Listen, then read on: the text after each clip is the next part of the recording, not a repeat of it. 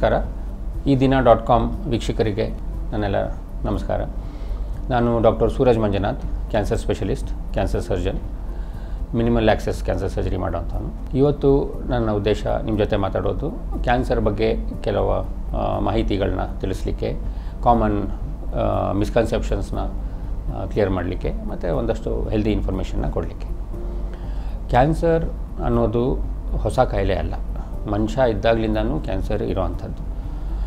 ಈ ಫಾಸಿಲ್ಸು ನಾವು ಎಕ್ಸ್ಕವೇಷನ್ ಮಾಡಿದಾಗ ರಷ್ಯಾದಲ್ಲಿ, ಬೋನ್ಸಲ್ಲಿ, ಆವಾಗಿನ ಕಾಲದಲ್ಲಿ ಮಿಲಿಯನ್ಸ್ ಆಫ್ ಇಯರ್ಸ್ ಬ್ಯಾಕ್ ಕೂಡ ಕ್ಯಾನ್ಸರ್ ಇದ್ದ, ಇರೋವಂಥದ್ದು.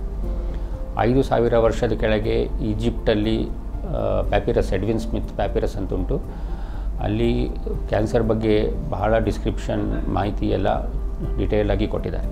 ನಮ್ಮ ಭಾರತದಲ್ಲೂ ಕೂಡ, ಹಳೆ ಕಾಲದಲ್ಲಿ ಏನ್ಷಂಟ್ ಇಂಡಿಯಾದಲ್ಲೂ ಕೂಡ ಕ್ಯಾನ್ಸರ್ ಅಂದರೆ ಏನು ಅಂತ ಅವರಿಗೆಲ್ಲ ತಿಳಿದಿ, ತಿಳಿದಿರೋವಂಥದ್ದು. ಆದರೆ ಇಷ್ಟು ಸಾವಿರಾರು ವರ್ಷದಲ್ಲೂ ಕ್ಯಾನ್ಸರ್ಗೆ ಯಾವುದು ಕ್ಯೂರ್ ಅನ್ನೋದು ಇರ್ತಿರಲಿಲ್ಲ. ಕ್ಯಾನ್ಸರ್ ಅಂದರೆ ಅದು ಆಲ್ಮೋಸ್ಟ್ ಹಂಡ್ರೆಡ್ ಪರ್ಸೆಂಟು ಪ್ರಾಣ ಹೋಗುವಂಥ ಕಾಯಿಲೆ ಆಗಿತ್ತು.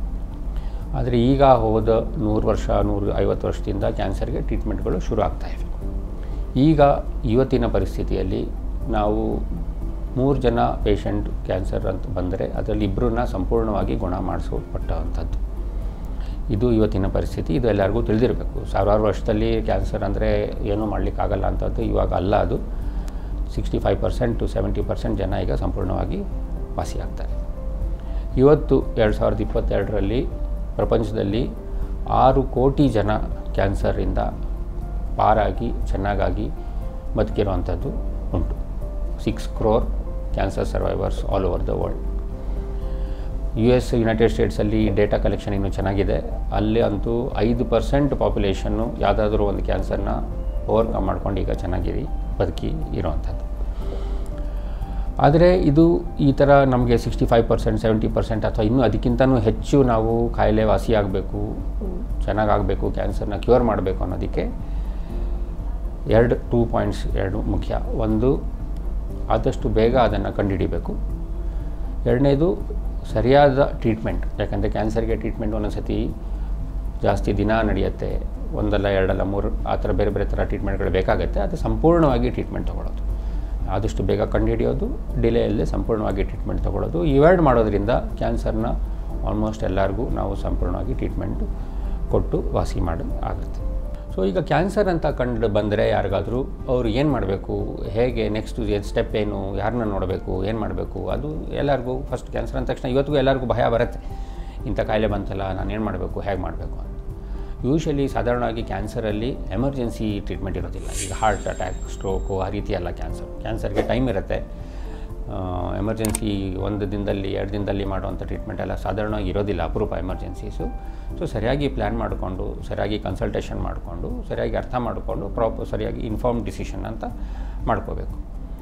ಸಾಧಾರಣವಾಗಿ ಅದು ಕ್ಯಾನ್ಸರ್ ಅನ್ನೋ ಡಯಾಗ್ನೋಸ್ ಆಗಬೇಕಾದ್ರೆ ಯೂಶ್ವಲಿ ನಮಗೆ ಸಿಂಪ್ಟಮ್ಸ್ ಒಬ್ಬ ಮನುಷ್ಯನಿಗೆ ಏನು ತೊಂದರೆಗಳಿವೆ, ಅವ್ರ ವಯಸ್ಸೇನು ಅವ್ರ ಫ್ಯಾಮಿಲಿ ಹಿಸ್ಟ್ರಿ ಏನು ಅವ್ರಿಗೇನು ತೊಂದರೆ ಇದೆ, ಯಾವಾಗಲಿಂದ ಇದೆ, ಅದನ್ನೆಲ್ಲ ಅಸೆಸ್ ಮಾಡಿಬಿಟ್ಟು ಮತ್ತು ಫಿಸಿಕಲ್ ಎಕ್ಸಾಮಿನೇಷನ್ ಅವ್ರನ್ನೆಲ್ಲ ನಾವು ಎಕ್ಸಾಮಿನ್ ಮಾಡಿ, ನೋಡಿ, ಗಂಟಿದೆಯಾ, ಗಡ್ಡೆ ಇದೆಯಾ, ಏನಾದರೂ ಎಲ್ಲಿಂದಾದ್ರು ಬ್ಲೀಡಿಂಗ್ ಇದೆಯಾ ವೆಯ್ಟ್ ಲಾಸ್ ಆಗಿದೆಯಾ, ಅದನ್ನೆಲ್ಲ ನೋಡಿಬಿಟ್ಟು ಒಂದು ಊಹಿಸ್ಬೋದು ಕ್ಯಾನ್ಸರ್ ಇರೋ ಸಾಧ್ಯತೆ ಉಂಟು ಇವ್ರಿಗೆ ಅಂತ. ಆವಾಗ ನಾವು ಕೆಲವು ಟೆಸ್ಟ್ ಎಲ್ಲ ಮಾಡ್ತೀವಿ. ಕೆಲವು ಸ್ಕ್ಯಾನ್ ಮಾಡಬೇಕಾಗತ್ತೆ. ಎಲ್ಲಿದೆ, ಹೇಗಿದೆ, ಯಾವ ಸೈಜು ಎಲ್ಲೆಲ್ಲಿಗೆ ಹೋಗಿದೆ ಅಂತ ಸ್ಕ್ಯಾನ್ ಮಾಡಬೇಕಾಗತ್ತೆ. ಆದರೆ ಖಚಿತವಾಗಿ ಇದು ಇಂಥ ಕಾಯಿಲೆ, ಇದು ಕ್ಯಾನ್ಸರ ಅಲ್ವಾ ಅಂತ ನೋಡಿ, ಗೊತ್ತಾಗಬೇಕಾದ್ರೆ ಅದನ್ನು ಬಯೋಪ್ಸಿ ಅಂತ ಮಾಡ್ತೀವಿ. ಬಯೋಪ್ಸಿ ಅಂದರೆ ಯಾವುದು ಗೆಡ್ಡೆ ಅಥವಾ ಅದು ಅಬ್ನಾರ್ಮಲಿಟಿ ಹುಣ್ಣು ಯಾವುದಿದೆಯೋ, ಅದರದ್ದು ಒಂದು ಸಣ್ಣ ಪೀಸ್ ತೆಗೆದು ಅದನ್ನು ನಾವು ಟೆಸ್ಟ್ ಮಾಡ್ತೀವಿ. ಅದರ ಹೆಸರು ಬಯೋಪ್ಸಿ ಅಂತ. ಬಯೋಪ್ಸಿನಲ್ಲಿಯೇ ನಮಗೆ ಹಂಡ್ರೆಡ್ ಪರ್ಸೆಂಟ್ ಕನ್ಫರ್ಮ್ ಆಗೋದು ಅದು ಕ್ಯಾನ್ಸರ್ ಥರ ಕಾಯಿಲೆನ ಕ್ಯಾನ್ಸರ್ ಕಾಯಿಲೆನ ಅಥವಾ ಕ್ಯಾನ್ಸರ್ ಅಲ್ಲದ ಕಾಯಿಲೆನ ಅಂತ. ಒಂದು ಸತಿ ಬಯೋಪ್ಸಿ ಆದಮೇಲೆ ನೆಕ್ಸ್ಟ್ ನಾವು ಸ್ಟೇಜಿಂಗ್ ಅಂತ ಮಾಡ್ತೀವಿ. ಅಂದರೆ ಯಾವ ಹಂತದಲ್ಲಿದೆ? ಎಲ್ಲಿ ಶುರುವಾಗಿದೆ, ಅಲ್ಲಿ ಮಾತ್ರ ಇದೆಯಾ? ಅಥವಾ ಅಕ್ಕಪಕ್ಕಕ್ಕೆ ಏನಾದರೂ ಹರಡಿದೆಯಾ ಕಾಯಿಲೆ? ಅಥವಾ ದೂರದಲ್ಲಿ ಏನಾದರೂ ಹರಡಿದೆಯಾ ಅನ್ನೋದು ನಮಗೆ ಸ್ಟೇಜಿಂಗ್ ಟೆಸ್ಟ್ಸಲ್ಲಿ ಗೊತ್ತಾಗುತ್ತೆ. ಬೇರೆ ಬೇರೆ ಕ್ಯಾನ್ಸರ್ಗಳಿಗೆ ಬೇರೆ ಬೇರೆ ಥರ ಟೆಸ್ಟ್ ಬೇಕಾಗುತ್ತೆ. ಕೆಲವುದಕ್ಕೆ ಎಂಡೋಸ್ಕೋಪಿ ಮಾಡಿ ಬಯಾಪ್ಸಿ ಮಾಡಬೇಕಾಗತ್ತೆ, ಕೆಲವು ಸೂಜಿ ಪರೀಕ್ಷೆಯಲ್ಲಿ ಬಯಾಪ್ಸಿ ಮಾಡಬೇಕಾಗತ್ತೆ, ಕೆಲವು ಒಂದು ಸ್ಯಾಂಪಲ್ ತೊಗೊಂಡು ಫೋರ್ಸೆಪ್ಸಲ್ಲಿ ಬಯಾಪ್ಸಿ ಮಾಡಬೇಕಾಗುತ್ತೆ. ಒಂದು ಸತಿ ನಮಗೆ ಈ ಥರ ಇನ್ಫಾರ್ಮೇಷನ್ ಅಂದರೆ ಕ್ಯಾನ್ಸರ್ ಇದೆ, ಮತ್ತು ಇಂಥ ಹಂತದಲ್ಲಿದೆ ಅಂದಾಗ ನಾವು ಡಿಟೇಲಾಗಿ ಅವ್ರ ಜೊತೆ ಮತ್ತು ಅವ್ರ ಮನೆಯವ್ರ ಜೊತೆ ಕೂತ್ಕೊಂಡು ಮಾತಾಡಬೇಕು. ಏನು ಕಾಯಿಲೆ? ಇದರದ್ದು ಪ್ರೋಗ್ನೋಸಿಸ್ ಅಂದರೆ ಸಾ, ಗುಣ ಪೂರ್ತಿ ಸಂಪೂರ್ಣ ಗುಣ ಆಗೋ ಸಾಧ್ಯತೆ ಎಷ್ಟಿದೆ? ಏನು ಟ್ರೀಟ್ಮೆಂಟ್ ಬೇಕಾಗತ್ತೆ? ಟ್ರೀಟ್ಮೆಂಟ್ದು ಸೈಡ್ ಎಫೆಕ್ಟ್ಸ್ ಏನಾದ್ರು ಇರುತ್ತಾ, ಏನಾಗುತ್ತೆ? ಮತ್ತು ಖರ್ಚು ಎಷ್ಟಾಗುತ್ತೆ? ಮತ್ತು ಪ್ರೋಗ್ರಾಮ್ ಪೂರ್ತಿ ಪ್ಲ್ಯಾನ್ ಆಫ್ ಟ್ರೀಟ್ಮೆಂಟ್ ಸಂಪೂರ್ಣವಾಗಿ ಡಿಸ್ಕಸ್ ಮಾಡ್ತೀವಿ. ಡಿಸ್ಕಸ್ ಮಾಡಿದ ನಂತರ ಈಗ ನೋಡಿ, ಈಗಿನ ಕಾಲದಲ್ಲಂತೂ ಹಳೆ ಕಾಲದ ಥರ ನೋಡಿ ಇದನ್ನು ಮಾಡಬೇಕು ನಿಮಗೆ ಅಂತ ಹೇಳೋವಂಥದ್ದಲ್ಲ.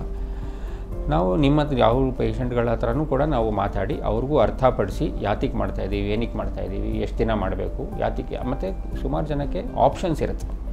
ಈಗ ಉದಾಹರಣೆಗೆ ಸ್ತನದ ಕ್ಯಾನ್ಸರ್ ಬ್ರೆಸ್ಟ್ ಕ್ಯಾನ್ಸರಲ್ಲಿ ಚಿಕ್ಕ ಕ್ಯಾನ್ಸರ್ ಇದ್ದಾಗ ಅರ್ಲಿ ಕ್ಯಾನ್ಸರ್ ಇದ್ದಾಗ ಎಷ್ಟೊಂದು ಜನಕ್ಕೆ ನಾವು ಆಪ್ಷನ್ಸ್ ಕೊಡ್ತೀವಿ. ಬ್ರೆಸ್ಟ್ನ ಉಳಿಸ್ಬಹುದು, ಕೆಲವರಿಗೆ ನಾವು ಬ್ರೆಸ್ಟ್ನ ತೆಗಿಬಹುದು.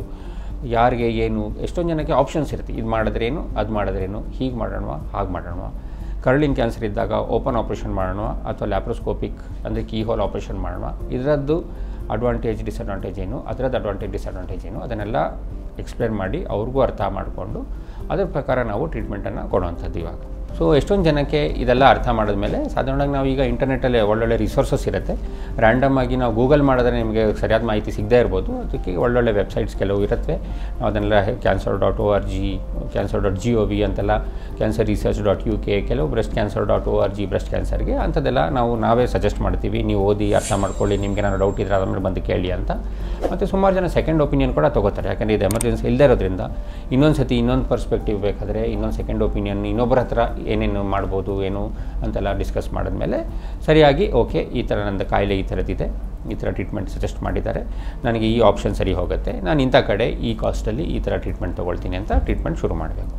ಸೊ ಟ್ರೀಟ್ಮೆಂಟ್ ಒಂದು ಸತಿ ಶುರು ಮಾಡಿದ್ಮೇಲೆ ಏನಾದರೂ ಸಾಧಾರಣವಾಗಿ ಫಾರ್ ಎಕ್ಸಾಂಪಲ್ ಉದಾಹರಣೆಗೆ ಬ್ರೆಸ್ಟ್ ಕ್ಯಾನ್ಸರ್ಗೆ ಒಂದೇ ಟ್ರೀಟ್ಮೆಂಟ್ ಸಾಕಾಗದೇ ಇರ್ಬೋದು. ಈಗ ಅರ್ಲಿ ಬ್ರೆಸ್ಟ್ ಕ್ಯಾನ್ಸರ್ಗೆ ಸುಮಾರು ಜನಕ್ಕೆ ನಾವು ಆಪ್ರೇಷನ್ ಮೇನ್ ಟ್ರೀಟ್ಮೆಂಟ್ ಇರುತ್ತೆ. ಅಂದರೆ ಆಪ್ರೇಷನ್ ಆದ ನಂತರ ಎಷ್ಟೊಂದು ಜನಕ್ಕೆ ನಾವು ರೇಡಿಯೋಥೆರಪಿ ಅಂತ ಶ ವಿಕಿರಣ ಟ್ರೀಟ್ಮೆಂಟ್ ಕೊಡ್ತೀವಿ. ಮತ್ತು ಕೀಮೊಥೆರಪಿ ಅಂತ ಕೆಲವು ಇಂಜೆಕ್ಷನ್ಸ್ ಅಥವಾ ಟ್ಯಾಬ್ಲೆಟ್ಸ್ ಕೊಡ್ತೀವಿ. ಕೆಲವರಿಗೆ ಟಾರ್ಗೆಟೆಡ್ ಥೆರಪೀಸ್ ಬೇಕಾಗುತ್ತೆ. ಕೆಲವರಿಗೆ ಹಾರ್ಮೋನ್ ಟ್ಯಾಬ್ಲೆಟ್ಸ್ ಅಂತ ಒಂದು ಟ್ಯಾಬ್ಲೆಟ್ ಐದು ವರ್ಷ ಅಥವಾ ಹತ್ತು ವರ್ಷ ಕೊಡ್ತೀವಿ. ಇದೆಲ್ಲ ಪೂರ್ತಿ ಟ್ರೀಟ್ಮೆಂಟ್ ತೊಗೊಳೋದ್ರಿಂದ ಅವ್ರದ್ದು ಕ್ಯೂರ್ ರೇಟ್ ಅಂದರೆ ವಾಸಿಯಾಗೋ ಸಾಧ್ಯತೆ ಮ್ಯಾಕ್ಸಿಮೈಸ್ ಆಗುತ್ತೆ. ಅಂದರೆ ಮತ್ತೆ ಬರೋ ಸಾಧ್ಯತೆ ಬಹಳ ಕಮ್ಮಿ ಆಗುತ್ತೆ. ಸೊ ಇದನ್ನೆಲ್ಲ ನಾವು ಪ್ಲ್ಯಾನ್ ಮಾಡಿ ಅಸೆಸ್ ಮಾಡಿ, ಆ ಪೇಷಂಟ್ನೂ ನಾವು ಕಾನ್ಫಿಡೆನ್ಸಲ್ಲಿ ತೊಗೊಂಡು ನಾವು ಟ್ರೀಟ್ಮೆಂಟ್ ಶುರು ಮಾಡತಕ್ಕದ್ದು.